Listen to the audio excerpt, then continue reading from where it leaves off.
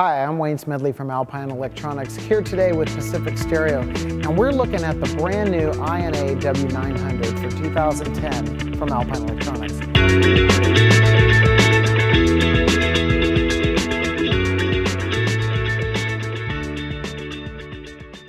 Let's hit our source button.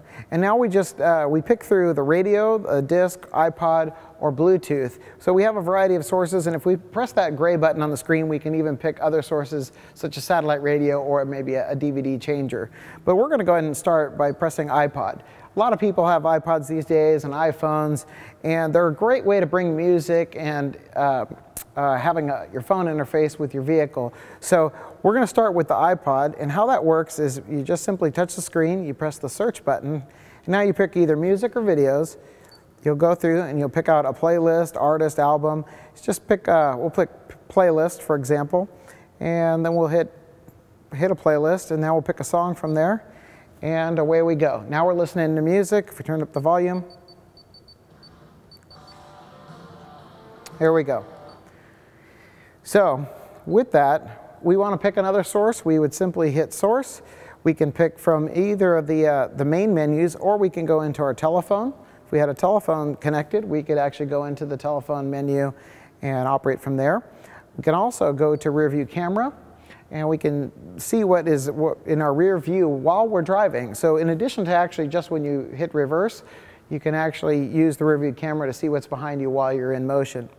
We also have for the INA W900, you'll notice there's these cones on here. It's called a guide menu. Uh, and we have the guide view we can turn off.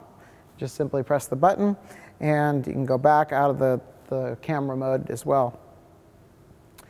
Now if we want to see other features such as the navigation, the built-in navigation for the Alpine is extremely easy to use.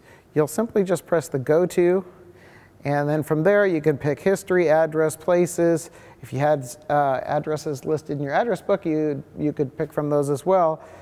In addition to that, you have uh, intersections and coordinates. Well, if you know if you know GPS coordinates, you could actually you could calculate a route from those GPS coordinates.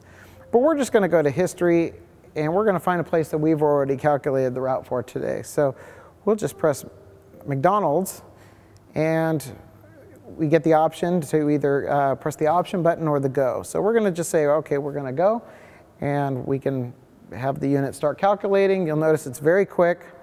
It gave us a voice prompt telling us that it's ready to go.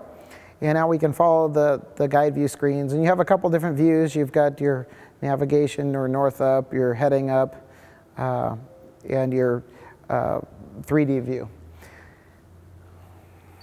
Now back to source menu, you can pick out from a variety of the other sources, but this is the general operation. You'll notice the unit's very fast, very simple. If you want to go and see more information about this unit, check out our website. You can uh, also call Pacific Stereo at 888-951-2008. But feel free to check out more information on our website about this product and many, many others that we have to offer.